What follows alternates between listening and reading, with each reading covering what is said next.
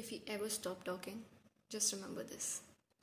हो मैं कभी भूलूँगी ना तुझे चाहे तुम मुझको देना भुला आदतों जैसा है तू मेरे आदत कैसे भूलूं